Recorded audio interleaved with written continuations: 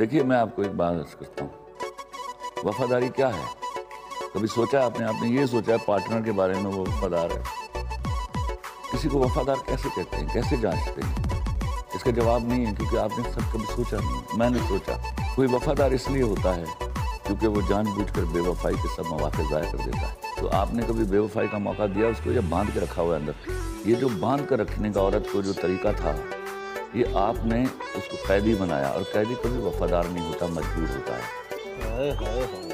तो आपको अगर वफादारी जांचनी है तो सबसे पहले उसके साथ वफादार हो जाइए और फिर देखिए। और अगर वफादार नहीं है तो कोई मसला नहीं है। इसका मतलब वो कहीं और जाना चाहती है। दरवाज़ा खोलिए बुके दीजिए उसको जाने दीजिए। गो फॉर अनदर पर्सन इसका शरई अखलाकी और कानूनी हक है आपके पास। और उसके पास भी है, किसी को छोड़कर चले जाने। का तो अगर कोई औरत छोड़कर जाना चाहती है तो प्लीज़ दरवाज़ा खोलिए उसके लिए।